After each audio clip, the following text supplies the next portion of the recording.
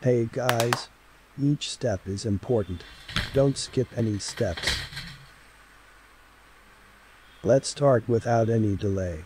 Press Windows and X key together to open options. Then click on search.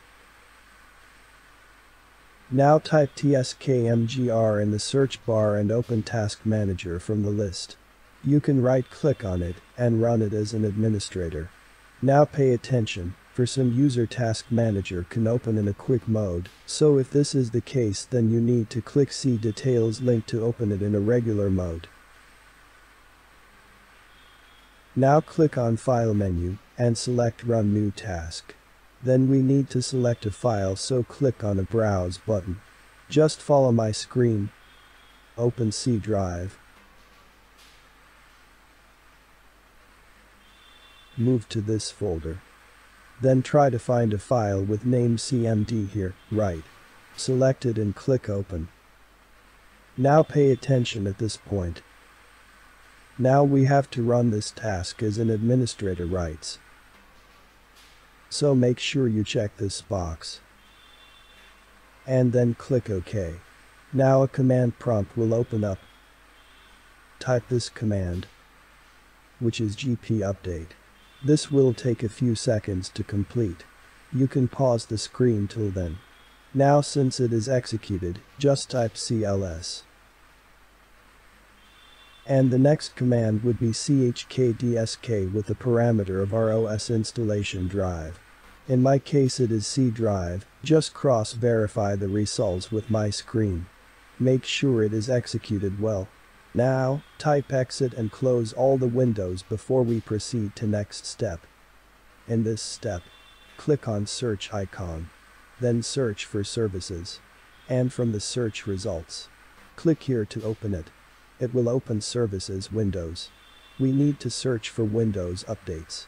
Just scroll down. Here we go. Right click on it. Select Properties.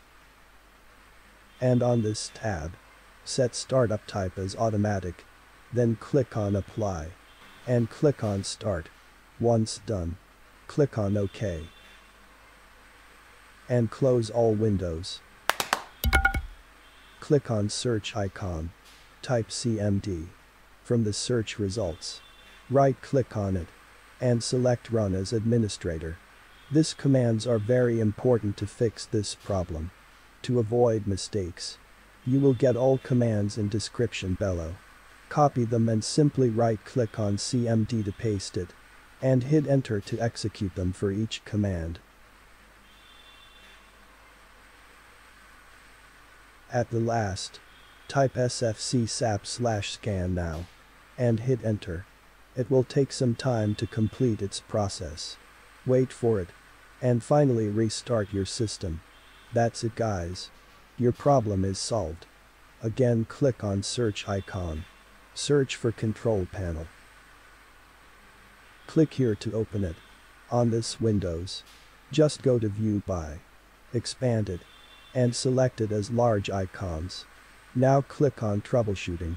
Then click on System and Security. From the Windows section. Select Windows Update. This will troubleshoot and try to prevent Windows Update as well as computer problems. So, click on Next. And lastly close all windows. That's it guys. Your problem is solved. And you are good to go.